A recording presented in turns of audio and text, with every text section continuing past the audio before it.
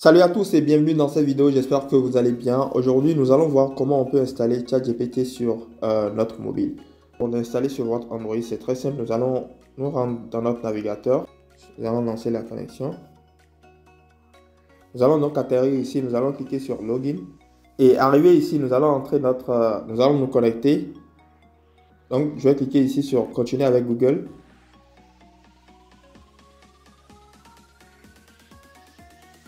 Et là, je vais choisir le compte avec lequel je vais me connecter.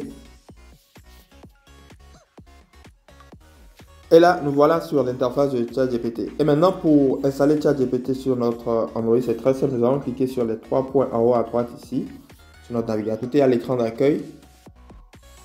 Ici, nous allons euh, nous assurer que le nom reste sur ChatGPT et ensuite, nous allons cliquer sur Ajouter.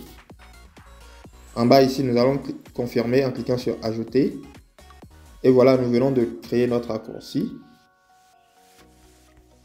Donc voilà, le raccourci a été créé ici. Et maintenant, pour accéder à ChatGPT, c'est très simple. C'est comme si nous avions installé ChatGPT sur notre Android. Nous allons juste cliquer dessus.